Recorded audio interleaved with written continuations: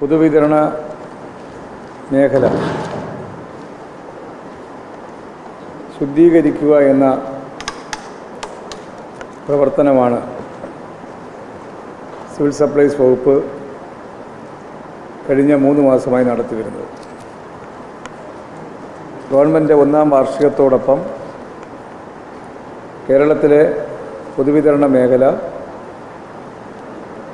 അതിന്റെ വിവിധ തലങ്ങളിൽ നിലവിലുള്ള കുറവുകൾ മാറ്റിയെടുത്ത് പരമാവധി മെച്ചപ്പെട്ട സേവനം പൊതുജനങ്ങൾക്ക് നൽകാൻ കഴിയുന്ന തരത്തിലേക്കുള്ള പ്രവർത്തനമാണ് ആരംഭിച്ചിട്ടുള്ളത്. അതിന്റെ ഭാഗമായി റേഷൻ കാർഡുകളുടെ മുൻഗണനാ വിഭാഗത്തിന്റെ ലഭ്യമാക്കേണ്ട കാർഡ് അനർഹരായിട്ടുള്ള നിരവധി ആളുകളുടെ കയ്യിലുണ്ടായിരുന്നു എന്നുള്ളതൊരു വസ്തുതയാണ്. അത് മാറ്റിയെടുക്കാനുള്ള ശ്രമത്തിൽ ഒരു ലക്ഷത്തി അറുപത്തിരണ്ടായിരത്തിലധികം കാർഡുകൾ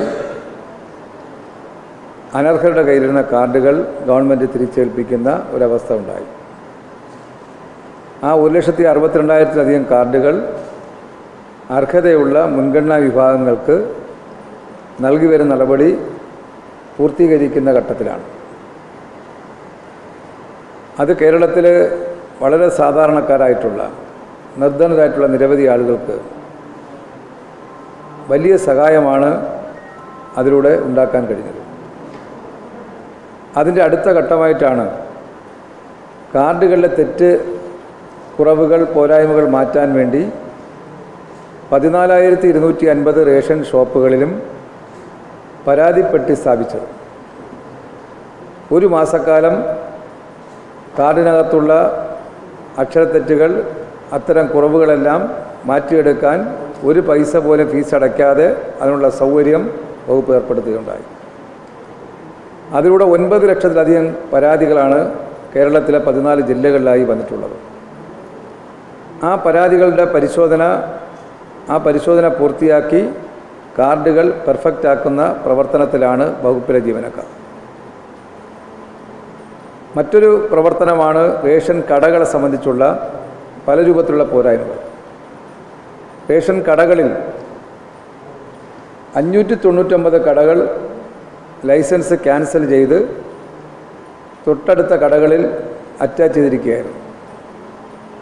അതുപോലെ അറുന്നൂറ്റി എൺപത്തിയാറ് കടകൾ താൽക്കാലികമായി ലൈസൻസ് ക്യാൻസൽ ചെയ്ത് ഇപ്പം ലൈസൻസ് മരണപ്പെട്ടത് കൊണ്ടോ അല്ലെങ്കിൽ മറ്റെന്തെങ്കിലും ക്രമക്കേട് നടത്തിയത് കൊണ്ടോ അത്തരം കടകൾ ലൈസൻസ് താൽക്കാലികമായി ടെമ്പററി ആയിട്ട് ക്യാൻസൽ ചെയ്തുകൊണ്ട് മറ്റ് കടകൾ അറ്റാച്ച് ചെയ്തിരുന്നു.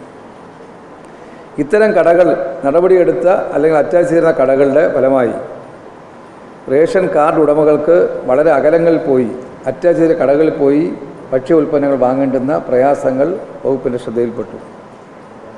അതുകൂടെ കണക്കിലെടുത്തുകൊണ്ടാണ് കേരളത്തിൽ അത് ജില്ലാ ജില്ലകൾ തിരിച്ച് പതിനാല് ജില്ലകളിലും അദാലത്ത് നടത്തുവാൻ തീരുമാനിച്ചു ആ അദാലത്തിൽ ഇത്തരം വിഷയങ്ങൾക്ക് പരിഹാരമുണ്ടാക്കിക്കൊണ്ട് റേഷൻ കടകൾ താൽക്കാലികമായി അറ്റാച്ച് ചെയ്തിരിക്കുന്ന കടകൾ പുനഃസ്ഥാപിച്ചു കൊടുക്കാനുള്ള നടപടികൾ നടന്നു വരികയാണ്. ഇന്നിപ്പോൾ കാസർഗോഡ് ജില്ലയിൽ ഒൻപതാമത്തെ ജില്ലയാണ് ആ അദാലത്തിന്റെ പ്രവർത്തനം നടക്കുന്ന ജില്ല.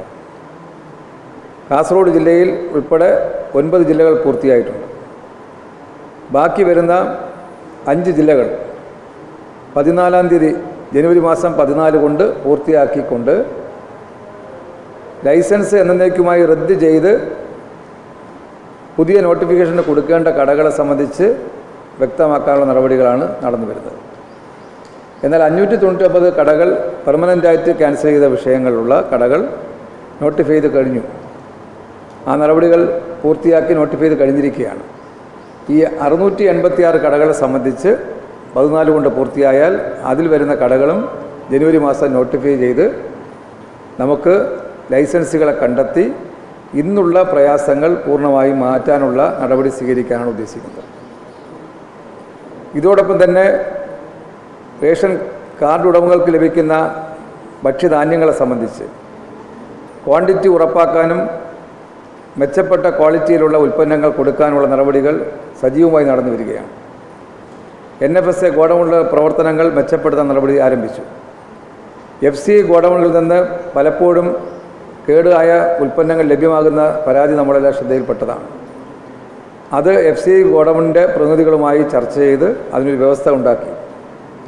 ആ വ്യവസ്ഥയിൽ സിവിൽ സപ്ലൈസ് വകുപ്പിലെ ഉദ്യോഗസ്ഥന്മാരും എഫ് സിയിലെ ഉദ്യോഗസ്ഥന്മാരും എഫ് സി ഗോഡൗണുകളിലെ ഉൽപ്പന്നങ്ങൾ നേരിട്ട് പരിശോ ക്വാളിറ്റി പരിശോധിച്ച് അത് ബോധ്യപ്പെടുത്തിക്കൊണ്ട് വിടുതൽ ചെയ്യാനുള്ള നടപടിയിലേക്ക് പോകാൻ വ്യവസ്ഥ ഉണ്ടാക്കി.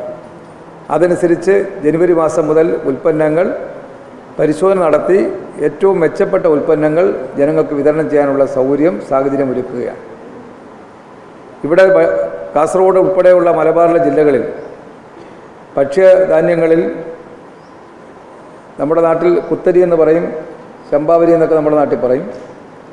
ആ രീതിയിലുള്ള ചുവന്ന അരി ലഭ്യമാകണമെന്ന ആവശ്യം കുറേ നാളുകളായി ഉള്ള ഒരു ആവശ്യമാണ്. അത് പരിഗണിച്ചുകൊണ്ട് അവർക്ക് ആ രീതിയിലേക്ക് അരി മാറ്റം വരുത്തി അരിയിൽ മാറ്റം വരുത്തി വിതരണം ചെയ്യാനുള്ള നടപടി പൂർത്തിയായി വരികയാണ്.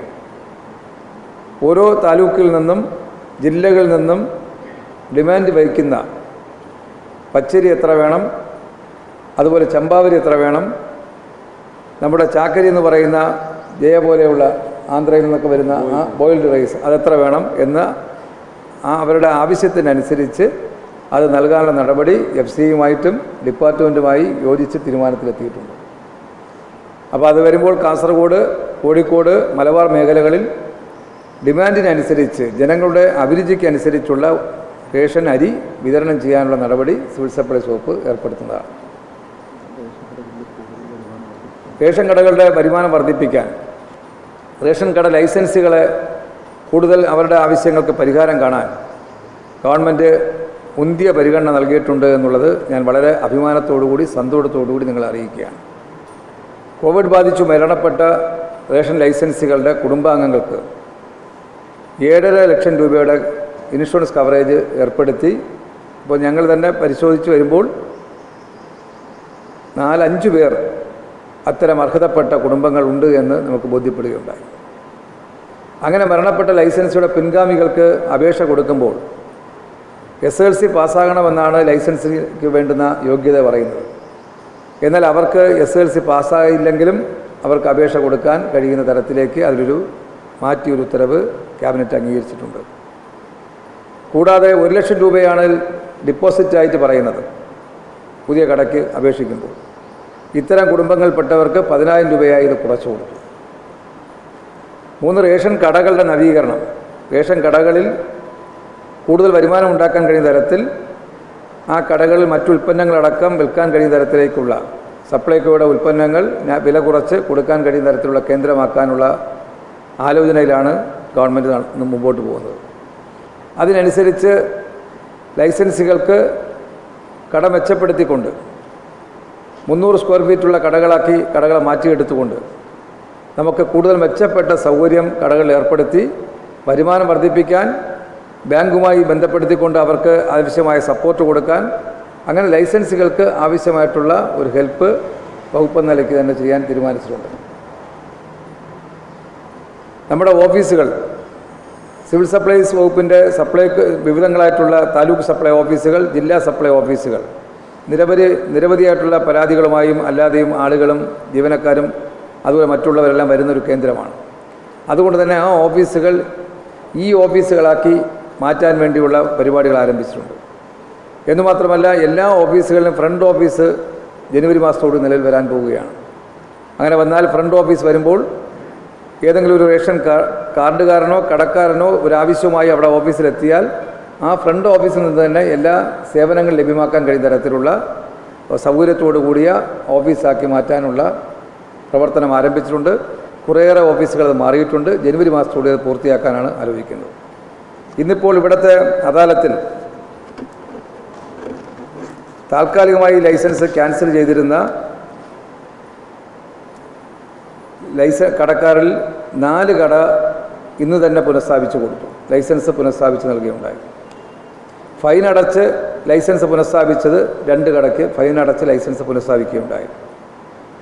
ഇന്ന് തന്നെ ലൈസൻസ് പുനഃസ്ഥാപിച്ചു കൊടുത്തതിൽ ഒരു കടയ്ക്ക് ലൈസൻസ് ഈ സമയത്ത് തന്നെ പുനഃസ്ഥാപിച്ച് കൊടുക്കുകയുണ്ടായി ഉടൻ തന്നെ. ആറ് കടകൾ ടെർമിനേറ്റ് ചെയ്യാൻ വേണ്ടി ലൈസൻസ് പുനഃസ്ഥാപിച്ച് കൊടുക്കാൻ കഴിയില്ല. ആ- നിലയിൽ ഗുരുതരമായിട്ടുള്ള അവസ്ഥയുള്ളത്. അതുപോലെ തന്നെ അവകാശികളില്ലാത്തത് അങ്ങനെയുള്ള ആറ് കടകളുടെ ലൈസൻസ് ടെർമിനേറ്റ് ചെയ്ത് ക്യാൻസൽ ചെയ്തുകൊണ്ട് നോട്ടിഫിക്കേഷന് വേണ്ടി കൈമാറാൻ തീരുമാനിച്ചു അങ്ങനെ ഇന്ന് തന്നെ ഇത്തരത്തിലുള്ള അവസരം നൽകിയിട്ടുണ്ട്. രണ്ട് കടകളെ സംബന്ധിച്ച് തീരുമാനമെടുക്കാൻ ഡയറക്ടർക്ക് പ്രത്യേക ചുമതലപ്പെടുത്തിയിട്ടുണ്ട്. ഇതാണ് ഇന്നത്തെ അദാലത്തിലുണ്ടാക്കാൻ കഴിഞ്ഞ വളരെ അടിയന്തരമായ തീരുമാനമെടുക്കാൻ കഴിഞ്ഞ വിഷയം